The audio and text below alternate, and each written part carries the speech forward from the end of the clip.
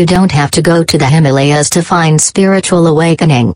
Your relationship can be as deep a well of spiritual growth as you'd find on any meditation retreat. A spiritual relationship is one of the most powerful tools for transforming you into your best self. Every relationship has its own unique set of challenges, which are all just opportunities for growth, if only we see them as such. Here are seven characteristics of spiritual relationships that any seeker should aim to cultivate. 1. Your conflicts are temples for growth. Yes, conflict feels unpleasant, awkward, frustrating. But because conflicts with your partner challenge you to be understanding, solve problems, and communicate when you're not firing on all cylinders, you come away from them better prepared to handle whatever stressful situations life throws at you with equanimity and grace. On top of that, if you're open to constructive criticism from your partner, which is crucial to resolving conflict, you'll become aware of weak areas in your character that you may not have recognized on your own. And if you find there are certain things your partner does that trigger disproportionate reactions from you, you can see that as a clue to revealing any unresolved trauma clinging to your present self, and start working to heal it. Conflict, when handled with love and respect, actually builds intimacy and encourages personal growth. 2. You both practice compassion in moments you might be tempted to judge. In those moments of conflict, or in struggles you or your partner face individually, you don't criticize or affirm each other's negative self-perceptions. Instead, you listen with understanding and acceptance. You see your partner's wounds as something with the potential to transform them through healing, and they see yours the same way.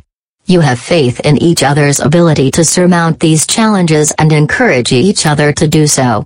When your partner is struggling, you encourage them to challenge themselves without being demanding or making ultimatums, and your partner does the same for you. You make each other better. 3. You are fully present in the relationship. In a spiritual relationship, partners show up completely, emotionally, spiritually, mentally. You do not hide from each other and you feel comfortable being vulnerable and truthful to each other. But you do it even if you don't, you invest in self-awareness practices like meditation, yoga, and journaling so you are constantly increasing the awareness of what you want and need, and what you can do to be a better partner. Then you practice conscious communication to make sure your partner hears those needs. You both speak and listen with the intent to understand each other. 4. You practice forgiveness with each other. When conflicts arise, as they naturally do, you practice forgiveness. You out-forgive each other, letting go of harsh words and hurt feelings. You talk about what happened as you forgive so the anger dissolves and resentment doesn't have a chance to grow.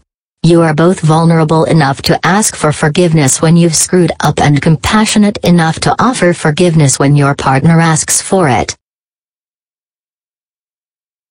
5. Your default position is love.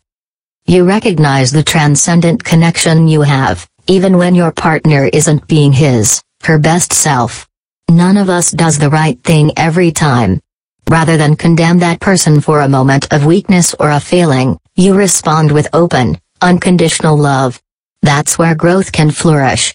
We have been put on this earth to love each other, and you both know that. When all else fails, you choose love, even, and perhaps especially, when it isn't easy. 6. Your only expectation for each other is that you each try to be your best self every day. There's really only one reason relationships fail, it's that the expectation of one or both parties did not align with the reality they experienced. It doesn't matter what the expectation was, better communication, a shorter courtship period, that your partner wouldn't change. Expectations are the doom of a relationship if you let them define it. In relationships that last, spiritual relationships, both parties recognize that you can't predict human behavior, or expect them to fit into some arbitrary box you've created in your mind. You simply expect your partner to try to be the best version of themselves, every day. That makes it easier to let the relationship evolve naturally, rather than trying to put yourselves on a deadline. The only goal in your relationship should be to continue to evolve as individuals and as a couple. What comes out of that naturally will be the best possible outcome for both of you. 7. Your default is humility, not ego. Rather than holding stubbornly to opinions or refusing to concede that you might have been wrong, partners in a spiritual relationship are able to take responsibility and accept that no one is perfect, no one is omniscient. If we can look back on our past selves and see that we were wrong, it means we're growing. It is a gift. In addition, you prioritize the health of your relationship over a desire to win. Nobody wins in a fight, unless the argument is resolved and you come together at the end of it closer than ever. You and your partner don't attack each other when triggered. You each acknowledge your role in every dynamic and approach conflict with a willingness to compromise and forgive. You appreciate each other more during the tough times, rather than resenting each other.